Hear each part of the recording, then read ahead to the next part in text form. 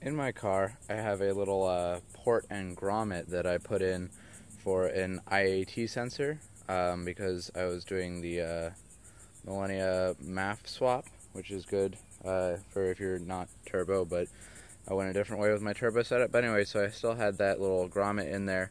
So I took a spare IAT sensor and bored it out and put a uh, little temperature probe in it that goes to a little thing that I had in my garage, a little uh, temperature reader. Um, so I'm gonna get you guys a cold start and uh, see the temperature change in that.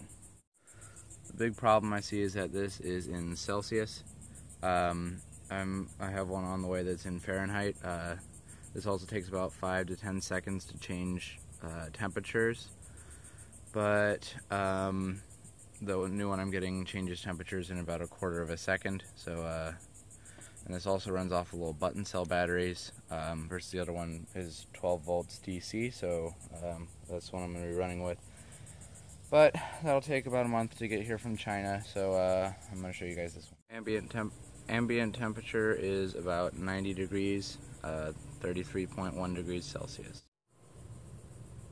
Alright so the temperature is slowly increasing um, just the uh, air temperature is slowly increasing because it's getting hotter as the day goes on. But that's the temperature inside the pipe with the engine off. This is cold. I haven't run it all night. I'm going to start it up and see uh, see how that changes.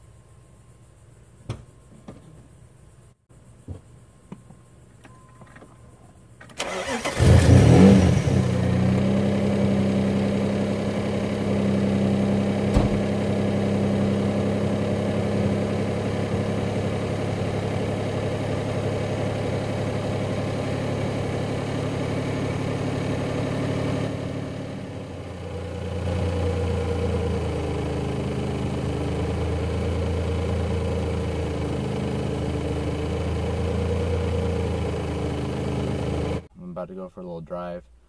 Temperature inside the engine is uh, 33.2 degrees Celsius. And we're going to go for a little drive.